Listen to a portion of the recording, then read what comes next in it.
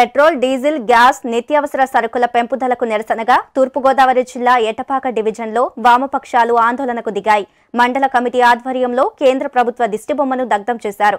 BJP ప్రభుత్వానికి వ్యతిరేకంగా నినాదాలు చేశారు. మోదీ ప్రభుత్వంలో సామాన్యుడు బ్రతికే పరిస్థితి లేదంటూ ఆరోపించారు.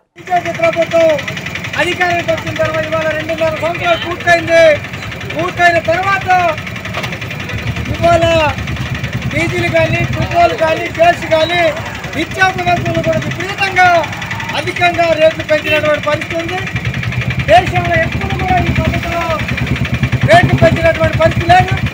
కాబట్టి దీనికి నిరసనగా ఇవాళ దేశవ్యాప్తంగా వామపక్ష పార్టీలు విస్తృతంగా ఈరోజు కార్యక్రమం జరుగుతుంది. ఎందుకంటే ఇవాళ ఆనాడు ఎన్నికల ముందు అనేక రకాల వాగ్దానాలు చేసినటువంటి పరిస్థితి.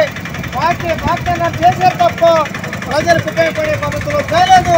కాబట్టి ఇవాళ అధికారంకి వచ్చిన తర్వాత ప్రజల మీద అనేక రకాల భారాలు మోపుతున్నటువంటి పరిస్థితి ఉంది.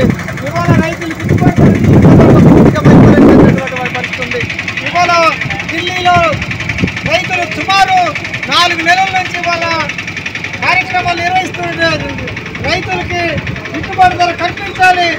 నిత్యావసర వస్తువులు అన్ని రకాల ధరలు తగ్గించాలనే ఆలోచనతో వాళ్ళ దేశం మొత్తం మీద కార్యక్రమాలు జరుగుతున్న ప్రభుత్వం గడచావని పెడుతున్నటువంటి పరిస్థితి ఉన్నది.